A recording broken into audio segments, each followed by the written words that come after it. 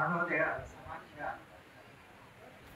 కళాకారులందరినీ సంఘటితపరిచి ఊపా చట్టానికి వ్యతిరేకంగా ఈ సభ నిర్వహించడము నిర్వహించినందుకు నేను మనస్ఫూర్తిగా అభినందనలు.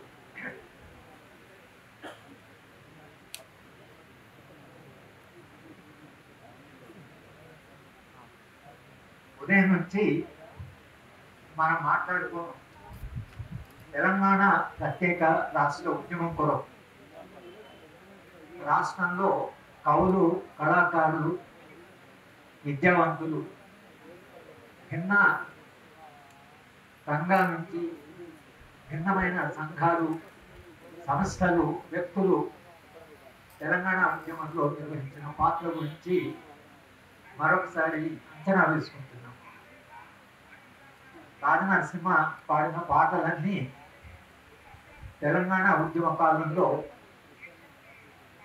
ఇవాళ కాస్త ప్రభుత్వానికి దగ్గరున్న వాళ్ళు ఆ రోజు రాసిన పాటల్ని మళ్ళొకసారి గుర్తు చేసుకున్నారు మొత్తంగా ఈ దేశ చరిత్రలో స్వాతంత్రోద్యమం ప్రారంభమైనప్పటి నుంచి సెడిషన్ మీద కానీ రౌల చట్టానికి వ్యతిరేకం కానీ ప్రివెంటివ్ డిటెన్షన్ కానీ ఉద్యమాలు జరుగుతూనే ఉన్నాయి జరిగాయి ఆ చరిత్రలో అదంతా రాయబడ్డది. స్వాతంత్రం వచ్చిన తర్వాత ఇవాళ తెలంగాణలో ఏం జరుగుతున్నదో స్వాతంత్రం వచ్చిన తర్వాత ప్రివెంటివ్ డిటెన్షన్ తీసేయలేదు. సెడిషన్ తీసేయలేదు. పంతొమ్మిది యాభై ఎనిమిదిలో arm forces special powers act వచ్చింది. ఇక ఆ తర్వాత అరవైలో డెబ్బైలో చట్టం తర్వాత చట్టం దాదాపు ఈ దేశంలో ఒక నలభై యాభై నిర్బంధ చట్టాలు రాష్ట్ర ప్రభుత్వాలు చేసినవి కానీ కేంద్ర ప్రభుత్వం చేసిన చట్టాలు కానీ ఒక నలభై యాభై చట్టాలు దేశంలో నిర్బంధ చట్టాలు ఉన్నాయి. ప్రతి రాష్ట్రం ఏదో ఒక నిర్బంధ చట్టాన్ని వాళ్ళు ఆ స్వాతంత్రోద్యమ ఆకాంక్షలు స్ఫూర్తి ఏమయ్యాయో మనకు తెలియదు కానీ ఎందుకు నిర్బంధ చట్టాలు వస్తాయి? ఒక సమాజంలో స్వాతంత్రం వచ్చిన తర్వాత అసలు ఆ చట్టాలు అవసరం ఎందుకు పాలన అనేది సమర్థవంతంగా ప్రజాస్వామ్యంగా ప్రజల మద్దతుతో సామాజిక న్యాయంతో నిరంతరంగా సమాజ మార్పులో ఒక రాజ్యం కూడా దాంట్లో భాగం అది రాజ్యాంగంలో రాసుకున్నటువంటి ఒక స్వప్నం. రాజ్యాంగంలో ఒక సమ సమాజం అన్ని రకాల అసమానత తగ్గిస్తాం. సంపద కేంద్రీకృతం కాకుండా చూస్తాం. స్వాతంత్రము స్వేచ్ఛ సమానత్వము సామాజిక న్యాయము సౌభ్రాతృత్వం అనేటువంటి సమున్నతమైన మానవ విలువలు మన రాజ్యాంగంలో రాసుకున్నాం. అలాంటి సమాజాన్ని సాధిద్దాం అని మనం అనుకున్నాం. అది రాజ్యాంగము స్వాతంత్రోద్యమ వెలుగులో వచ్చింది కాబట్టి ఆ మాత్రం రాజ్యాంగానికి ఒక ప్రజాస్వామ్య భావజాలం ఉంది ఒక స్వభావం ఉంది అలా అన్నప్పుడు ఈ చట్టాలు నిర్బంధ చట్టాలను ఎందుకు కొనసాగించారు అనేటువంటి ప్రశ్న మనం పెట్టి ఈ నిర్బంధ చట్టాలు ఎలా పెరుగుతూ వచ్చాయి? ఎలా ఒక చట్టం తర్వాత ఒక చట్టం వచ్చిందంటే స్వాతంత్రోద్యమ కాలంలో వచ్చిన ఆకాంక్షలు ఏవైతే రాజ్యాంగంలో రాస్తున్నాయో ఆ రాజ్యాంగ ఆకాంక్షలు రాజ్యాంగ రాజ్యం దూరం పోతున్న కొద్దీ ఆశయాలన్నీ అవి అడియాసలైనప్పుడు నిర్బంధ చట్టాలు అనివార్యంగా వస్తాయి. పంతొమ్మిది అరవై ఏడు డెబ్బై ఒకటి మధ్యన మన దేశంలో విపరీతమైనటువంటి అసంతృప్తి ఒక తరం అయిపోయింది. స్వాతంత్రం వచ్చి నలభై ఏడు నుంచి అరవై ఏడు. అరవై ఏడు డెబ్బై ఒకటి మధ్యన దేశంలో జరగనటువంటి ఉద్యమం లేదు అంటే ప్రత్యేక రాష్ట్ర ఉద్యమం వచ్చాయి. రాష్ట్రాలకు స్వతంత్రం కావాలని ఉద్యమాలు వచ్చాయి. విద్యార్థి ఉద్యమాలు వచ్చాయి. రకరకాల ఉద్యమాలు వచ్చాయి. సెపరేటిస్ట్ ఉద్యమాలు వచ్చాయి. సెసెషనిస్ట్ ఉద్యమాలు వచ్చాయి. నక్సలైట్ ఉద్యమం వచ్చింది. అరవై ఏడు డెబ్బై మధ్యన దేశ వ్యాప్తంగా అసంతృప్తి జ్వాలలు వస్తున్నప్పుడు దాంట్లోంచి ఇందిరాగాంధీ పేదరిక నిర్మూలన భూ సంస్కరణలు రకరకాల ఇరవై ఇరవై ఒక్క విధానాలతో ఆమె దేశానికి ముందుకు వచ్చిన డెబ్బై ఐదులో మొత్తంగా మనకు కల్పించిన హక్కులు ఏవైతున్నాయో రాజ్యాంగంలో హక్కులను రద్దు చేసేదాకా పోయిందంటే దేశంలో జరుగుతున్న అభివృద్ధి నమూనా స్వభావానికి అది మనం ఒక అర్థంలాగా తీసుకోవాల్సింది. అందుకనే చట్టాలు నిర్బంధ చట్టాలు ఎందుకు వస్తాయంటే మీరు ఎటువంటి సమాజం వైపు వెళ్తున్నారు? ఎలాంటి సమాజ నిర్మాణం చేద్దాం అనుకుంటున్నారు? ఆ స్వప్నం ఎప్పుడైతే మీరు వదిలేశారో మీకు కావాల్సింది నిర్బంధమే. కనుక నిర్బంధ చట్టాలను పెంచుతూ పెంచుతూ ఒకదాని తర్వాత తెస్తూ తెస్తూ వచ్చారు. కానీ దేశంలో ప్రజాస్వామ్య శక్తులు కూడా ఉన్నాయి. ఉద్యమ శక్తులు ఉన్నాయి. ఈ దేశంలో మొత్తంగా మౌలిక మార్పులు రావాలనే స్వప్నం ఉంది. కనుక దేశ ప్రజలు ప్రతిఘటిస్తే కొన్ని చట్టాలు వెనక్కిపోయాయి. టాడా పోటా లాంటి చట్టాలు వెనక్కిపోయాయి. కానీ ఎప్పుడైతే ఆర్థిక నమూనా పూర్తిగా మారిందో అది దుర్మార్గంగా ప్రజా వ్యతిరేకంగా మారిందో మీకు స్పష్టంగా రెండు వేల నాలుగు నుండి ఈ దేశంలో వస్తున్నటువంటి చట్టాల స్వభావాన్ని మీరు చూస్తే నిజానికి ఉపా చట్టాన్ని ఎవరు తీసుకొచ్చారు? అంతకుముందు టాడా పోటా చట్టాలేమో వాటికి టైం ఉండేది ఒక కాల పరిమితి ఉండేది ఒక సంవత్సరం అనేది రెండు సంవత్సరాలు. మేము ఒక వ్యాసం రాశాం economic and political terrorism and human rights history of repressive laws in India అని ఒక వ్యాసం రాశాం. ఆ వ్యాసంలో మేము వేస్ట్ చేసిన ఒక ప్రశ్న ఏమిటంటే నువ్వు తాడా చట్టాన్ని తెస్తున్నావు. పార్లమెంట్ ఏం చెప్తున్నారు? దేశ పరిస్థితి భారతీయ జనతా పార్టీ దాన్ని ఇంకా దానికి కొమ్మలు తొడిగి. ఈ చట్టాన్ని ఎట్లా తయారు చేసిన ముందు శ్రీనివాస్ గారు మాట్లాడుతున్నారు చెప్పారు. ఈ చట్టం యొక్క దుర్మార్గం ఏంటంటే చట్టము మీ- మీ మీద పెట్టారంటే శిక్ష ప్రారంభమైనట్లే. ఇక ట్రయలు కోర్టు న్యాయము సహాజ్యం ఇవేముండవు. ఊపా చట్టంలో మీరు అరెస్ట్ చేయాలంటే ఆరు నెలలు ఏ కారణం చెప్పకుండా మీరు తెలియదు ఏం ఇది? ఎలాంటి చట్టం ఇది? ఏ దేశంలోనైనా ఒక పౌరుడిని అరెస్ట్ చేస్తారు. న్యాయ వ్యవస్థకి చెప్పాలి ఈ పౌరుని ఎందుకు అరెస్ట్ చేశారు? కారణాలు ఏమిటి ఓ చార్జ్ షీట్ వేయాలి. ఏం లేదు దీంట్లో. తీసుకుపోయి లోపల పెడితే న్యాయస్థానాలు ఏమంటే అంటే ఊపా చట్టం కింద కదా మేమేం చేయలేము. ఆరు ఆరు నెలల దాకా మేమేం మాట్లాడేది వీడు పోయి అక్కడ ఊపా చట్టం కింద అరెస్ట్ అంటారు. ఇక ఆరు నెలల తర్వాత ఇంకా మేము ట్రయల్ ప్రారంభం కాబట్టి ఇన్వెస్టిగేషన్ చేస్తున్నాం అంటారు అదే భీమా కోసం కేసులో జరిగింది. వాళ్ళు ఊపా చట్టం కింద పెట్టారు. ఇవాళ ఐదేళ్ళు. ఐదేళ్ళు ఇంకా ట్రయల్ స్టార్ట్ కాలేదు ఇంకా ఇన్వెస్టిగేషన్ అంటున్నారు. ఇంకా ఎవిడెన్స్ కలెక్ట్ చేయాలంటున్నారు. కోర్టు కూడా అడగడం లేదు. ఏంటి అసలు ఐదేళ్ళు అయింది మరి దాన్ని? కేసు ట్రయల్ ప్రారంభించిన వాడు అడగడం లేదు. వీళ్ళు కోర్టు పోవడం లేదు. ఇవాళ ఇంకా రెండేళ్ళు జరగవచ్చు మూడేళ్ళు జరగవచ్చు ఏడేళ్ళ తర్వాత భీమా కోరినాలో వీళ్ళంతా నిర్దోషులని బయటకు వస్తే ఈ ఏడేళ్ళ జైలు శిక్షకు ఎవరు బాధ్యులు? ఎందుకు ఏడేళ్ళ శిక్ష వాళ్ళు అనుభవించినట్టు కొందరికి పంతొమ్మిది ఏళ్ళు జైల్లో పెట్టి నిర్దోషులని పంతొమ్మిది ఏళ్ళు జైల్లో ఉన్నారు. ఏ నేరం చేయకపోవడం ఏ నేరం చేయకుండా పంతొమ్మిది ఏళ్ళు జైల్లో ఉన్నారు ఇరవై ఏళ్ళు జైల్లో ఉన్నారు. అంటే దేశ పరిపాలనలో ఒక పౌరుడిని తీసుకెళ్ళి మీరు జైల్లో వేశారంటే ట్రయల్ స్టార్ట్ కాకపోతే అతను జైల్లోనే మధ్య మధ్య నిజంగా పనిష్మెంట్ పడ్డా ఏడేళ్ళు పడుతుంది. పదేళ్ళు పడుతుంది. కానీ దీంట్లో శిక్ష పడేదానికంటే ఎక్కువ శిక్ష. ఇది చాలా దుర్మార్గం.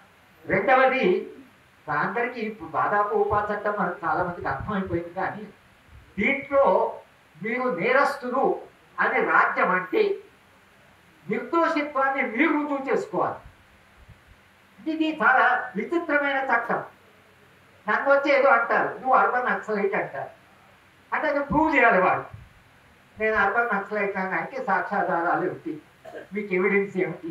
ఏం ఇన్వెస్టిగేషన్ చేశాను రాజ్యం చెప్పాలి. చెప్పాలి.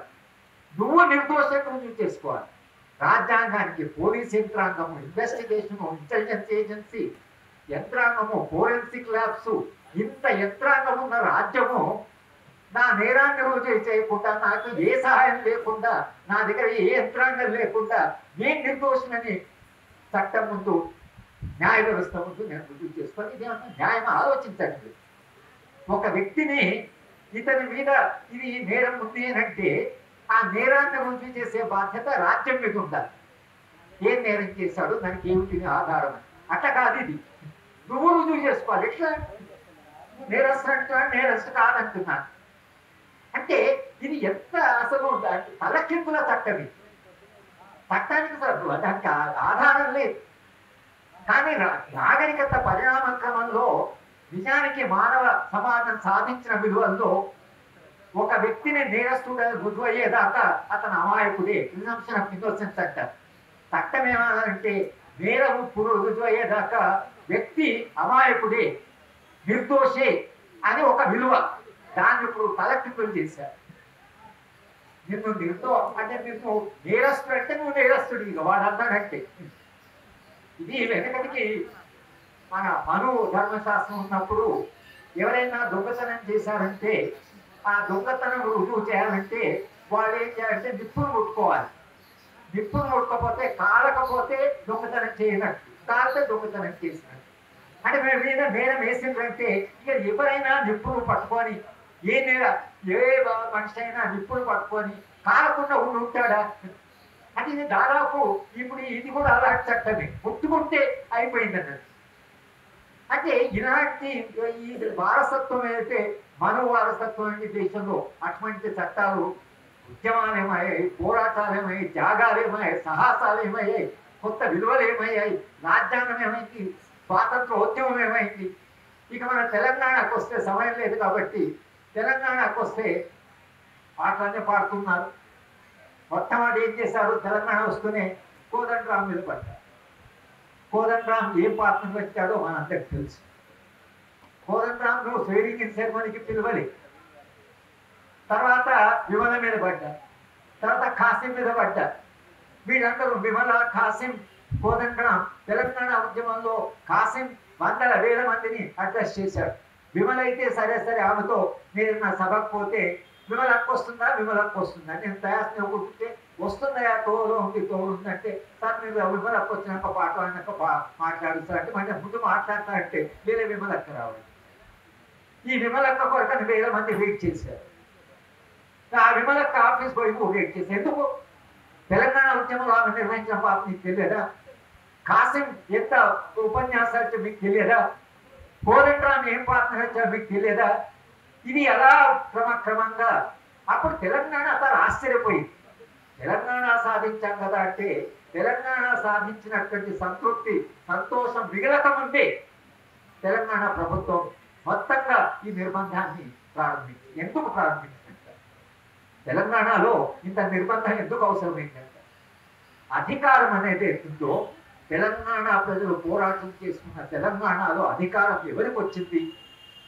అంటే భూములు ఆక్రమించుకునే వాళ్ళకి ఎడ్యుకేషన్ మాఫియాకి ఇసుక మాఫియాకి లిక్కర్ మాఫియాకి వాళ్ళు ఇవాళ రాజ్యాధికారానికి సామాజిక పునాదిగా వాళ్ళు సోషల్ బేస్ అంటారు. ఈ ఈ ఈ వర్గానికి క్యాపిటలిస్ట్ కన్నా కొంత విలువలు ఉంటాయి క్యాపిటలిజంలో. వీళ్ళకి ఏం విలువ ఉండవు ఎందుకంటే వీళ్ళు డబ్బులు వచ్చి డబ్బులు చేసుకుంటున్నారు. లిక్కర్ వ్యాపారంలో వీళ్ళు చేసే పనే ఉంటుంది. ఎవరో లిక్కర్ తయారు చేస్తారు వీళ్ళు ఇక్కడ అమ్ముతారు. దానికి కోట్లాది రూపాయలు సంపాదించుకుంటారు. భూములు. తెలంగాణ అత్యంత హైదరాబాద్ అత్యంత చాలా ప్రభుత్వ భూములు ఉన్నాయి. నిజాంకు ఇరవై కిలోమీటర్ల దూరం అంత భూమి ప్రభుత్వానికి నవాబులు పార్టీషన్ అయిన తర్వాత వెళ్ళిపోతాయి అంత భూములు ప్రభుత్వానికి ఎక్కడ భూమి దొరికితే అక్కడ పోయి దాన్ని ఆక్రమించుకొని దానికి వాడు ఒక చిన్న ఏదో పేపర్ ప్రొడ్యూస్ చేసి ఆ ప్లానింగ్ డిపార్ట్మెంట్కి వెళ్ళి దాన్ని అప్రూవ్ చేయించుకొని. మీకు ఆశ్చర్యం వేస్తే tank bund Hyderabad tank bund ఎవరో ఒకరు వెళ్ళి కోర్టులో కేసు వేసి ఈ ట్యాంక్ బండ్ నాది అన్నారు. హైకోర్టు వాళ్ళనే నిర్ణయించి ప్రభుత్వం సుప్రీంకోర్టు దగ్గర పోయింది. సుప్రీంకోర్టులో కూడా అడ్వకేట్ జనరల్ ఇది మనం ఓడిపోయేటట్టుగా ఉంది మన దగ్గర వాళ్ళ దగ్గర ఆధారాలు చూస్తున్నారంటే ప్రభుత్వం అతన్ని పిలిచి పది ఎకరాల భూమి ఇచ్చి అయ్యా ట్యాంక్ బండ్ జోలికి రా ఎందుకంటే ప్రభుత్వాన్ని చెప్పుకోవడం సిగ్గేసి ట్యాంక్ బండ్ పోయిందంటే అది ప్రభుత్వం అది మనందరం చూసిన ట్యాంక్ బండ్. తెలంగాణ ప్రాంతంలో వచ్చిన ఈ భూమిని ఆక్రమించుకోవాలి. అది అంటే మనం ఆశించిందేమో ఈ సిద్ధారెడ్డి ఈ దేశ అంటే పేరు చెప్పారు. వాళ్ళంతా ప్రజాస్వామ్యవాదులుగానే వాళ్ళు తెలంగాణ కొరకు పాపం నిజాయితీగా పోరాటం చేస్తారు కానీ మనం కాదని లేదు. వాళ్ళ మీద మనకు ఆగ్రహం ఏంటంటే ఇంత నిజాయితీ ఉన్నవాడు మీరు. తెలంగాణ వచ్చిన తర్వాత కూడా ప్రజల తరఫున నిలబడవలసింది కదా అని తప్పించి వాళ్ళందరి పేరు మనం బుక్ చేసుకుంటున్నాం. కానీ తెలంగాణ వచ్చిన తర్వాత ఇవాళ వచ్చిన తెలంగాణ యొక్క స్వభావం. ఎవరన్నా అడిగి అంటున్నారు. పోలీస్ అధికారులు అలా అడిగి ఏం సార్ తెలంగాణతో పోరాటం? చెప్పుకుంటే ఈ నిర్బంధం ఏంటి?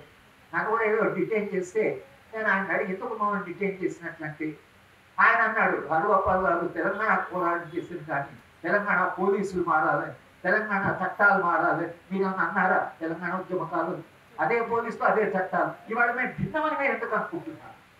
ఎంత ఒక మినిస్టర్ గారిని అడిగిన సీనియర్ మినిస్టర్ ఇదేంటండి తెలంగాణ వచ్చేస్తే ఇట్లా తయారు చేశారంటే మీరు మాకు జగిత్యాలో పాఠం చెప్పిండ్రు ఏ ప్రభుత్వాలు మారినా ఏ ఉద్యమాలు వచ్చినా రాజ్య స్వభావం మారినా నా నోట్స్ ఉన్నాయి సార్. మీరు ఆ రోజు చెప్పిన వారు రాజ్య స్వభావం మారుతారు. మీరు నన్ను వచ్చాడు ఎట్లా మీరు ఆ రోజే చెప్పింది కదా రాజ్య స్వభావం మారుతా అంటే మరి తెలంగాణ పోరాటం ఏమైనట్లంటే అదే రాజ్యము అదే రాజ్య స్వభావము అదే నిర్బంధము.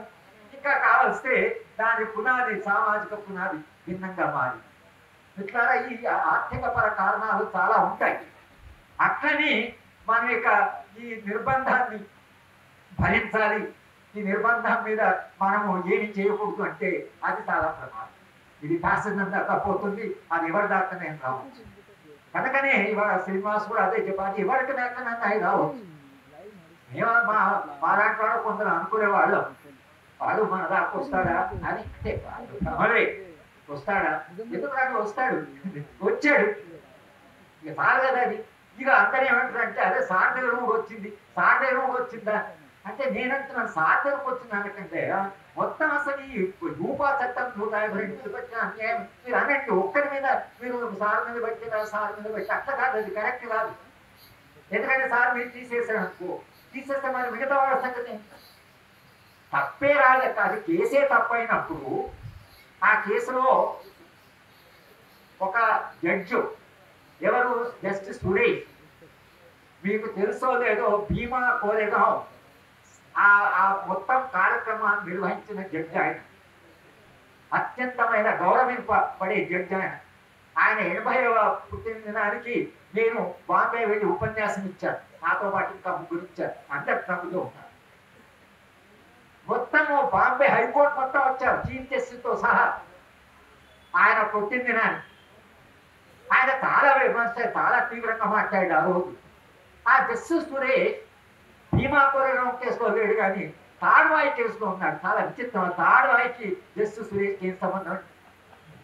జస్టిస్ సురేష్ పేరు దాన్ని పెట్టారు. చనిపోయిన వాళ్ళ పేర్లు పెట్టారు. ఒకరి పేరు రెండు సార్లు పెట్టారు. అది ఏంటి అసలు మీరు అంత తయారు చేయించిన? అంటే పోలీస్ యంత్రాంగానికి మేము ఏం చేసినా చెల్లుతుంది ఎవరు మమ్మల్ని అడిగే?